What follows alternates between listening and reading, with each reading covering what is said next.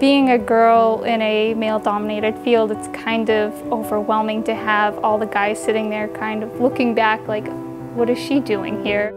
Where I actually ended up exceeding a lot of those people and, and finishing above them. My name's Courtney. I've been coming to BCC for about two years now. I'm in electromechanical engineering previously got my bachelor's degree in marine biology, but was finding it a little difficult to find a job out in the field. So I went back into engineering to kind of get more hands-on skill sets. When I first started, I really didn't know what to expect. With the electrical program, right when I jumped in, it was just exhilarating. It was like, oh my God, okay, this is what engineers do. It's not that basic idea that everybody gets in their head. It's anything. Engineering is everywhere.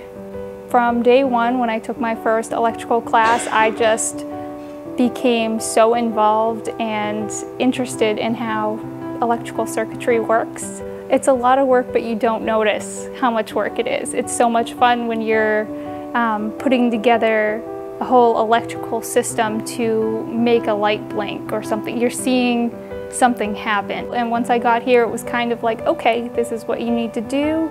Get involved, join these clubs, do outreach, meet people in industry, and it really, it really opened doors for me.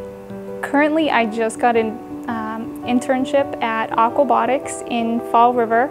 They work with remotely operated vehicles, so I'm going to be doing a lot of the assembly and electrical work for that, which after joining engineering has been something that I really want to pursue. BCC has really given me that uh, stepping stone that I needed to get into the career world and I just want to plan that next step finally and see where my life is going to take me.